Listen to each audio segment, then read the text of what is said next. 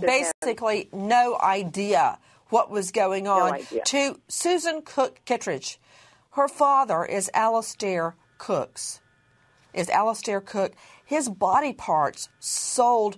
Susan, I, I hate for you to even hear all this, but you have dealt and grappled with these facts.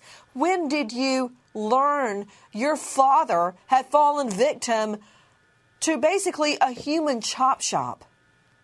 I learned, um, Nancy, first about it 18 months after my father died when I received a telephone call from a detective at the Brooklyn District Attorney's Office. And he asked me if I had heard of the ongoing investigation, and I hadn't.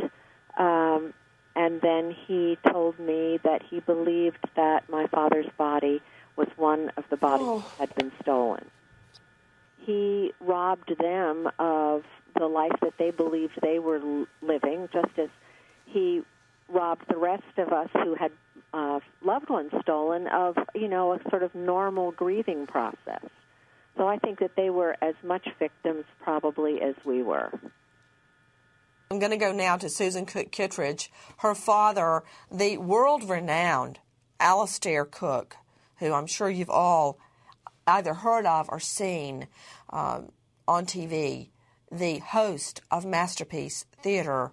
When you hear this, Susan, about his greed, and you realize your father's body was chopped up to fuel his greed, He's a what do you think? he he's a he's a very sick human being and uh, it, you know it doesn't surprise me in the least bit i my only concern is that we talk about this as though it was all in the past and i think that this is an industry that continues to thrive um, above board and below board it's a question of supply and demand if you ask yourself how many people you know who've had any kind of knee replacement or tendon work or dental implants. You're going to say that you've heard of lots of people. We all have. And then ask yourself how many people you know have willingly donated their body parts. Um, and you'll see that the seesaw is completely imbalanced. Um, there's a huge demand for tissue and very little su- legitimate supply.